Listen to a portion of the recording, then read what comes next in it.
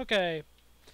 Uh, I've been fooling around with redstone, and I think I have come up with something that's pretty cool. It's not terribly difficult, but it is, um, it's actually pretty morbid to be, it's pretty, uh, not morbid, it's, it's very barbaric, but, uh, I like it starting out with.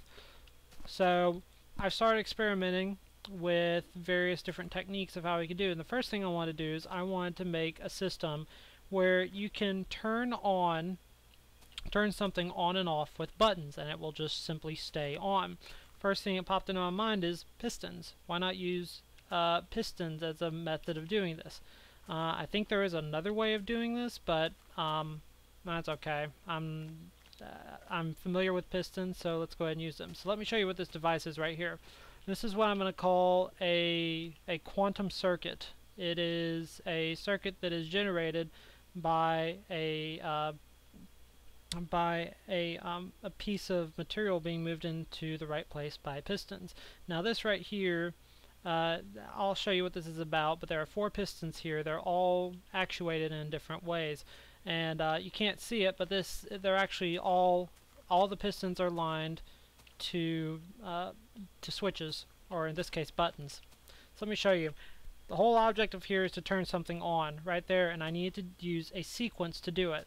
So my sequence is 1 plus 2.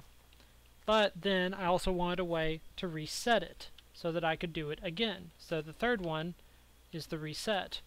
Let me show you what it does. So the first one is going to act uh, it's going to activate a piston. There you go. First piston. As you notice, piece over there moved. Second one activates another piston. Now that light came on because now the circuit is active. Move this one into play, this block into place. So now I want to turn the circuit back off again and reset it.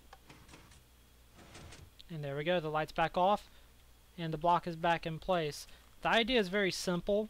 Uh, you have each of these buttons activates one pistons. Of course you can daisy chain the buttons to activate as many pistons as you want. If you wanted to, you could have one button that would literally activate uh, a dozen pistons pretty easily and you could do it sequentially um, based on where you set the redstone. So first one, the first button right here goes to, is lined all the way to this piston right here. So the first order, you have to do that. If you don't put that one in at the correct time, it's not going to work. So if I start out with the second one, does nothing. It just, it moves air. Does nothing. But if I start out with the first one, it actually moves it, um, it moves it back or it moves the uh, it moves the block forward to where it needs to be. So, and now if I activate the second one, now it moves it into place, and now the circuit is active, the light is on. If I want to reset it, there you go, it's now reset, and I have to do it all over again. Now what's even furthermore is if I want, move that first circuit. Now let's say that I've got five or six buttons here, and I can't remember the order at which you're supposed to uh, do it. So I decide I want to reset it uh, and try again. There you go. It's now reset.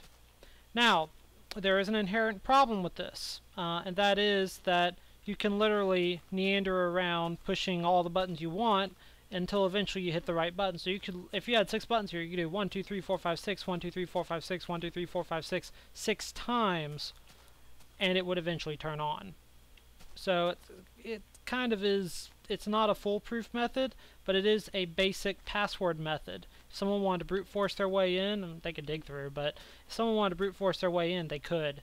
So this is kind of my first experiment, uh, this is my first foray into kind of quantum uh, redstone physics, if you will. So let me show you again what happened. First button, second button, circuit is now on. Want to reset it? Circuit is now off. Anyway, uh, I'm going to see what I can do with this, but uh, this, is, this is turning out to be a lot of fun. It's Mad Pistol, thank you for watching.